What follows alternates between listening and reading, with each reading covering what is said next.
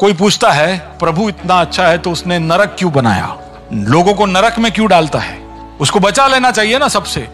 पर एक बात को आप समझिए, उसने नरक इसलिए बनाया क्योंकि कुछ लोगों ने ऐसे कहा कि हमें तू नहीं चाहिए। वो सर्वव्यापी है, वो सब जगह पर है। वो परमेश्वर को तुम कहते हो कि मुझे तू नहीं चाहिए। सर्वव्यापी परमेश्वर क्या करेगा? आपके लिए एक जगह बनाएगा, तुझे मैं नहीं चाहिए ना तो मैं तेरे लिए अलग जगह बनाता हूँ। तू वहाँ चले जा।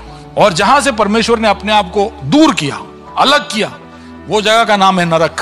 वहाँ पर कोई अच्छाई नहीं है, वहाँ पर कोई जीवन नहीं है, वहाँ पर कोई भलाई नहीं है। क्यों? क्योंकि वहाँ परमेश्वर नहीं है।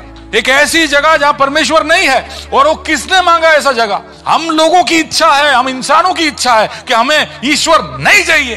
तो प्रभु बोलेगा, सारू, नरक एक ऐसी जगह है जहाँ से अनंत जीवन तक भी तुम वहाँ से निकल नहीं पाओगे।